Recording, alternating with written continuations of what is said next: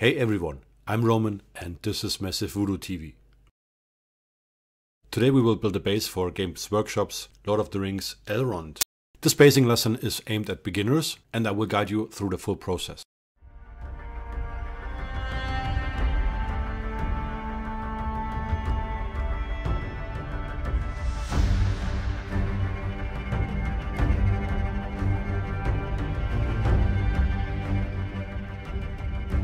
So far, I did not paint many Lord of the Rings miniatures. Especially in the last 10 years, I did not paint any. I painted some Uruk-hai, I painted Galadriel, I painted a small diorama, I painted Aragorn, Grimdalf, and now I painted Elrond. Here is a little overview to show you what's coming at you. I'm not so much into Lord of the Rings miniatures.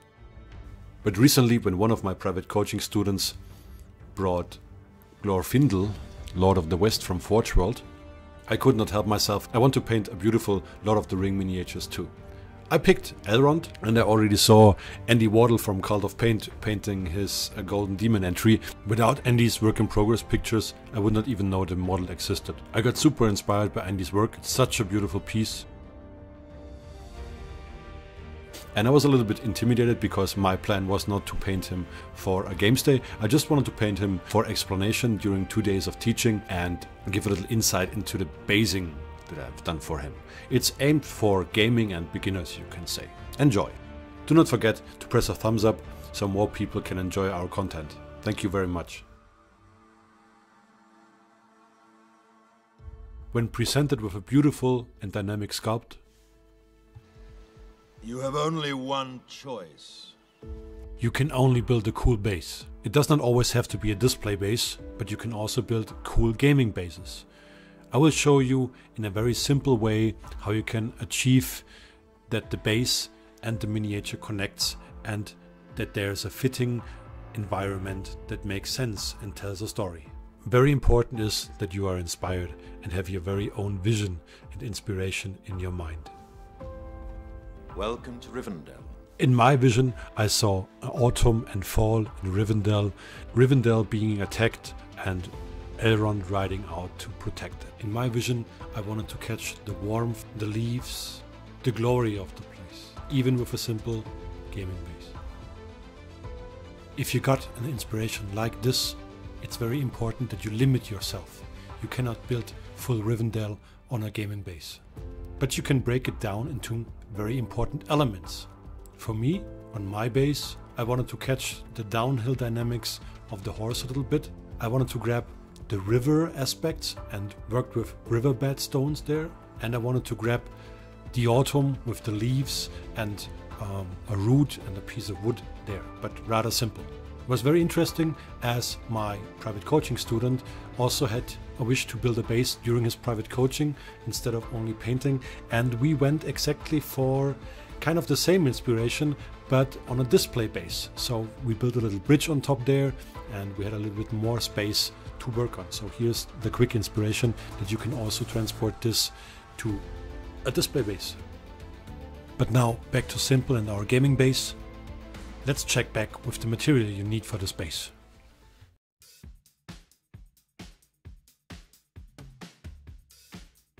Of course you need your miniature. Clean it, prepare it, glue it together. You need your base and some tools. I used a clipper, a hobby blade, some super glue, a toothpick. Then for the material, I used some dried soil, just regular soil out of the garden, but dry. I used some cork pieces, different sizes. You can get them at IKEA, hobby stores, tool markets, wherever you find them. I used some dry wood pieces, very tiny ones, to use them as roots. And if you want, I did not use it, but if you want for a cheap material, you can also go into the forest and collect bark from dead trees. Dead trees means they are lying on the ground and are not living trees anymore. It makes up for great rocks. You need some putty. I personally recommend Milliput, but you can also use any other putty that you prefer. For the final touches on the base, you need some birch leaves. They come from the tree that is called birch and they look like this. Around June, at least here in Germany, they start falling off from the trees and they look more, do look more brownish. And you can collect them actually to use them as leaves on your bases, or you can buy them from someone who collected them. Find links below. If you don't want to use this material for your leaves, you can also check back with natural leaves. You can just collect leaves in autumn and fall and grind them to leaf parts that you can glue. Or you can even use tea leaves. For placing them we will use matte varnish. Optional are some grass turfs that you can find from MiniNatur or other companies. The more bases you build, the more you will know about base building. As long as this is not natural for you, I always recommend making a small sketch. It becomes natural the more bases you build, the more material you know for basing. While doing the sketch, you don't have to think, oh I cannot draw or something, just do it. I personally always recommend making a top view, a bird's view on the base and a side view to understand how tall you want to build it and also to understand the structure of the base and where you want to place the miniature. I do start with using super glue on the base and then rip off tiny parts of thin cork and place them carefully.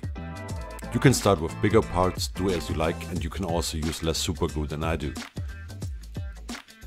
Here comes the toothpick. I need it sometimes as an additional tool to keep things in place.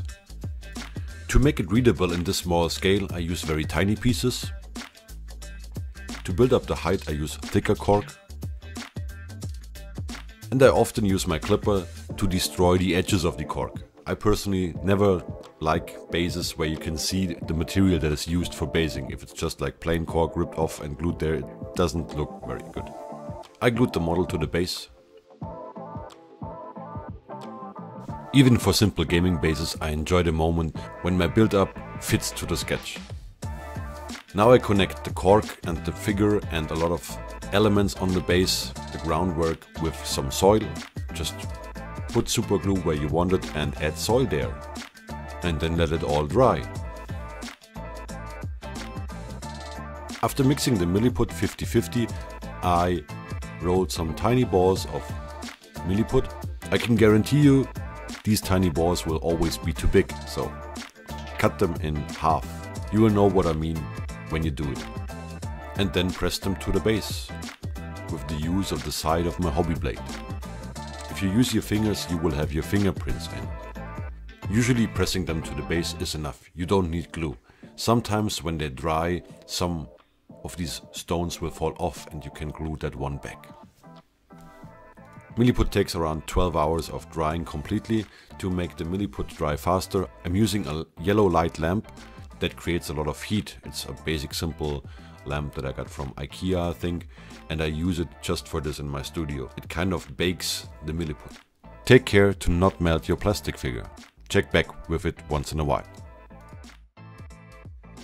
After priming the miniature I started my paint job and I used very warm colors everywhere from the beginning on to grab that Rivendell atmosphere, ambience. When the paint job was done, I added some flower turfs to the base. I personally like to glue them with a tiny drop of super glue because if I will do anything else to the base with water or something, they will still connect to the base. Then I added the leaves. For a larger amount of leaves, I'm using matte varnish to bring them in place and to hold them in place.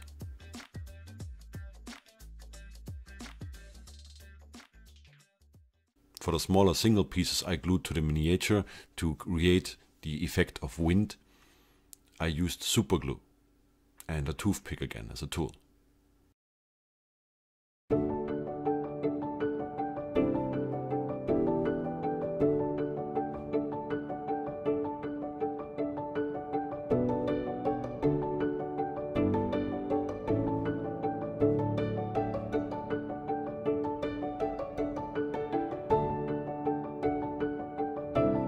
I hope you enjoyed this basing lesson for beginners. Thank you very much for watching the video. Don't forget to subscribe to the channel and press a thumbs up so more people get our videos suggested in their feed. Thank you very much.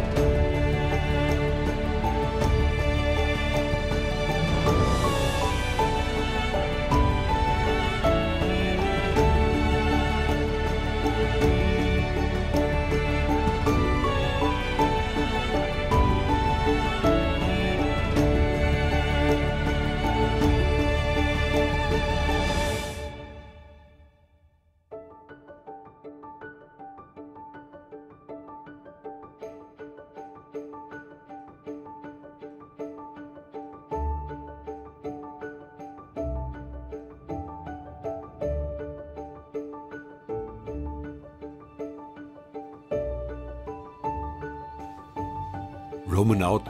Keep on happy painting. Bye bye.